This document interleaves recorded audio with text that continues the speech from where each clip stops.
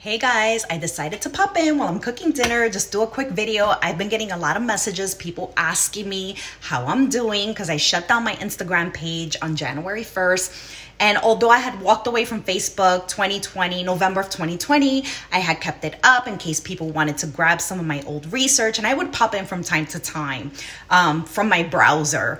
And so that I formally deleted on January 1st too. I'm still on Telegram. I have my website, YvetteBronx.org. I still have content that I want to put out. So I haven't completely gone underground, but I did really want to get grounded, get back um, present in real life. I just had coffee and Bible study with a good friend. You know, things like that feel good. I have all this zucchini here, um, and I'm planning to make a lot, a lot of bread to freeze and store and have ready. Um, my son gave me an instant pot for Christmas, and I made bulk beans, Puerto Rican style, that we have ready to go. You know, these are the things that I wanted to do that I had put aside because I was busy trying to wake people up. You know, I had spent so much time trying to stop what's occurring.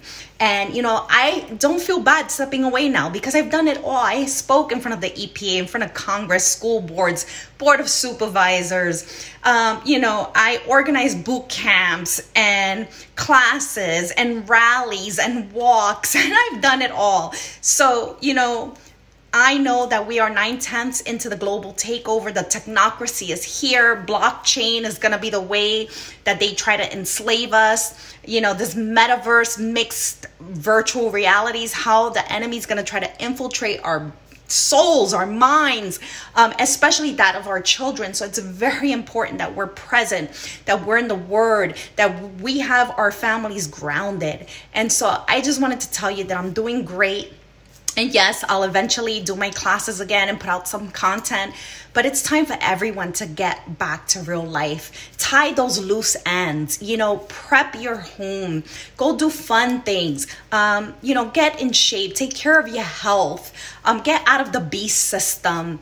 And really, the most important thing is get with God and and learn who he is and have a true relationship with him because this is not our world.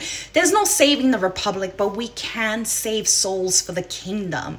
And so that's what I'm trying to do. Be grounded, um, working on my family and my marriage and myself. You know, we're all sinners and we could do better. And so I just wanted to pop in and say I'm doing really good.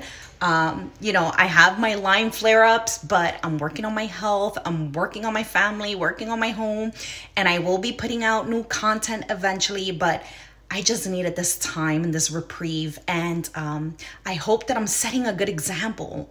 You step step away from it too. You know, if there are people you need to forgive, forgive them. If you need to ask for forgiveness, ask for forgiveness. Make things right. Life is short. We don't know when we're gonna die. We don't know when our Savior's coming back. Let us prepare ourselves in just the right way. Our souls, our homes, our children, and um, you know, repair those relationships. So, have a great day. Peace.